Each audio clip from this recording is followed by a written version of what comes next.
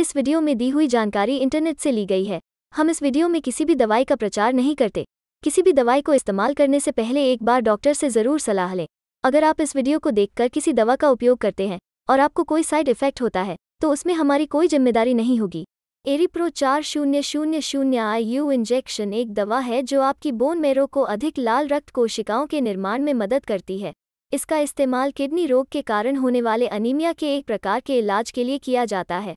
इसका इस्तेमाल cancer chemotherapy और एचआईवी के इलाज की दवाएँ लेने के कारण होने वाले अनीमिया के इलाज के लिए भी किया जाता है।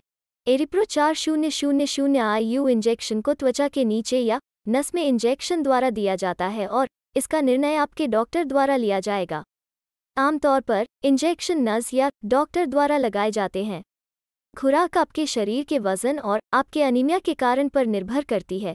दोनों ही इलाज से पहले या इलाज के बाद आयरन सप्लीमेंट्स इस इलाज को और भी असरदार बना सकते हैं।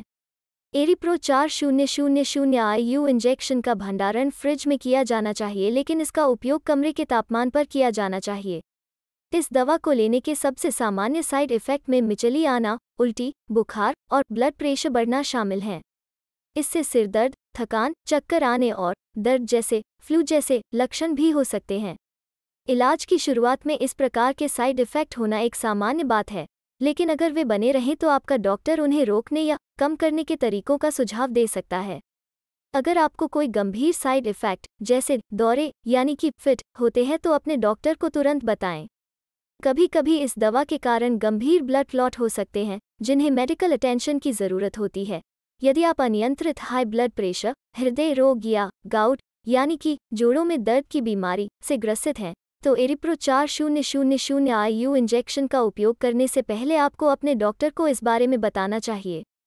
अगर कोई दवा इस इलाज को प्रभावित करती है तो आपको अपने डॉक्टर को उन अन्य सभी दवाओं के बारे में भी बताना चाहिए जिन्हें आप ले रहे हैं।